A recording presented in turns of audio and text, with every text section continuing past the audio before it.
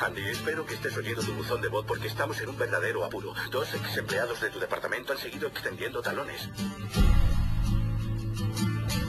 Me debes tres meses. No te los debo a ti, se los debo a Daniel.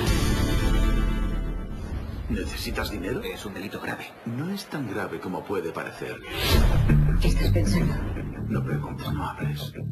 Es una joyería, un negocio familiar. No lo has hecho jamás. Compra una pistola. Una pistola de pega. Nada de disparos. Tú conduces, yo lo hago. Entendido, entendido, entendido, entendido. Vamos. ¿Cuántos años tienes? ¿60, 70? No toque nada. No diga nada. No ve tres en un burro. Mírame, no ve tres en un burro. Dinero fácil de ganar.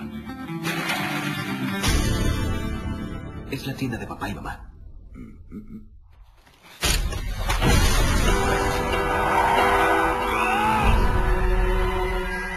Todo ha salido mal. ¿Qué cojones voy a hacer? Estoy metida en un buen lío. ¿Sabes que tengo un amante? Te apetece repetir. ¿No te vas a enfadar? ¿Cómo vamos a resolverlo? ¿Vas a ponerte gallito? ¿Vas a hacerme daño? Dios mío, Andy. ¿Está todo en orden? ¡Creo que no! ¡No! ¡Cierra el pico! Es tarde para echarse atrás. Esto es nuestro futuro. Yo puedo hacerlo.